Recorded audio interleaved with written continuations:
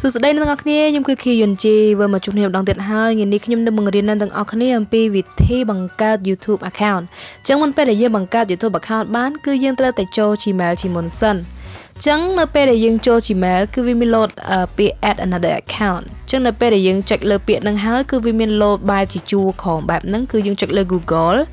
យើងបង្កើត Google account យើងចុច continue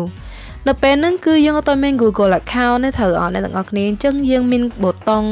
create account មានន័យថាបង្កើត account យើងចុចលើនឹងមកហើយបន្ទាប់មកយើងនឹកឃើញឈ្មោះណាមួយ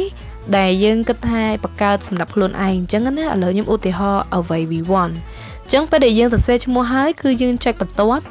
ហើយយើងសរសេរថ្ងៃខែសរសេរអីទៅហើយវាមានជា3ជំរើសឲ្យយើងជំរើសហ្នឹងគឺវាមានលេខឬក៏យើងអាច អឺទៅសេខ្លួនឯងបានឬឧទាហរណ៍ថា awayv1@gmail.com ដូចដែលខ្ញុំសរសេរអញ្ចឹងហើយសម្រាប់ password គឺគេ recommend ឲ្យយើងដាក់ password ណាដែល strong password ដែល strong នោះគឺ password ដែលមានអក្សរលេខហើយនិងសញ្ញា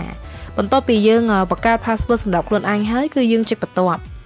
ហើយយើងដាក់លេខទូរស័ព្ទខ្លួនឯងនៅកន្លែងហ្នឹង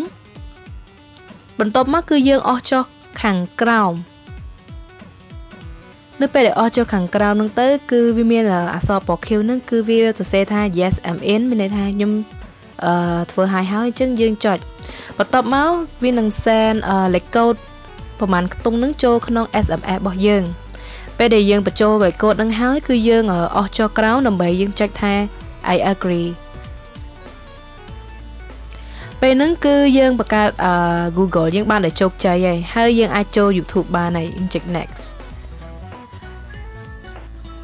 និយាយទៅគឺយើងមានអត្ថប្រយោជន៍ចំណេញ3យ៉ាងគឺបង្កើត Gmail Google ហើយនិង YouTube ឥឡូវហ្នឹង Gmail និង Google យើងបង្កើតហើយគឺយើងចូលទៅកាន់ YouTube ម្ដងអូខេចឹងយើងចុចលើប៊ូតុងនៅខាងលើដែលខ្ញុំឆ្អល់នេះគឺវាមានអក្សរ switch account ឬក៏យើងអត់តមានទេវាឡើងថា YouTube want to sign in យើងចុច sign in មកបន្ទាប់មកគឺយើងបញ្ចូល Gmail របស់យើងដូចដែលយើងបង្កើតមិញនេះ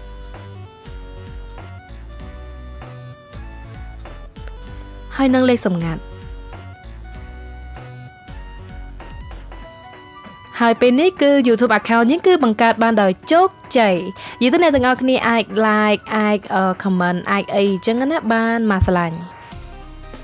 ប៉ុន្តែមិនធម្មតាប៉ុណ្្នឹងឯងអ្នកទាំងអស់គ្នាក៏អាចបង្កើតវីដេអូខ្លួនឯង YouTube ខ្លួនឯងបង្ហោះវីដេអូឡើងបានដែរដើម្បីមានឱកាសក្នុងការរកលុយក្នុង YouTube ណា So hope you guys enjoy this video peace out guys